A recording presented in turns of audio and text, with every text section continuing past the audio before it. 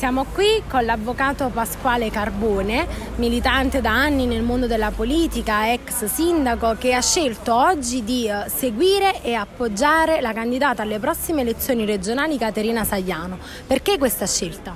Ma intanto è una scelta di territorio, è una scelta che onora ehm, il territorio e per me è, è diciamo, una scelta obbligata obbligata perché trovare una mm, persona come Caterina, eh, persona eh, che da sempre lavora per il sociale, da sempre eh, ha idee diciamo, innovative, ha idee proprio di,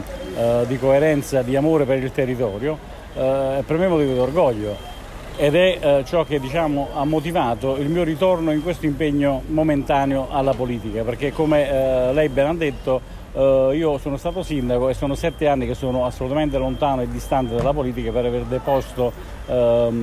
da tempo uh, ambizioni, velleità o altro per quanto concerne i miei impegni personali in politica. Ho ritenuto che essere doveroso dare il mio contributo fattivo alla candidatura di Caterina perché Caterina va ringraziata, va ringraziata per, per, quello che rappresenta per il territorio, per quella che sarà in grado di offrire al territorio, ma non solo limitato a, al comune di San Marcellino, ma all'intera provincia di Caserta. Caterina è una risorsa è una, risorsa, è una risorsa, preziosa del territorio e insieme a lei eh, faremo, penso possiamo fare grandi cose, grandi cose che assicurano sviluppo, innovazione, eh, dedizione al sociale, eh,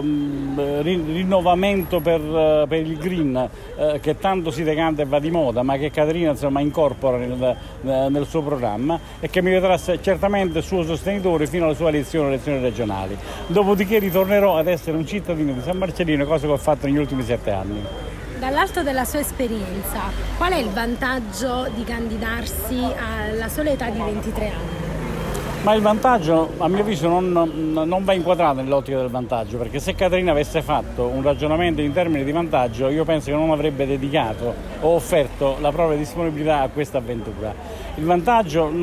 a mio avviso, si concretizza in quello che è l'amore per la politica, l'amore per il territorio, l'amore per le cose che si fanno e l'amore per quello che uno ritiene possa dare alla gente e soprattutto per chi ha la sensibilità di avere questi valori che può offrire alla gente e che si ha la consapevolezza di avere solo se si vive per la gente.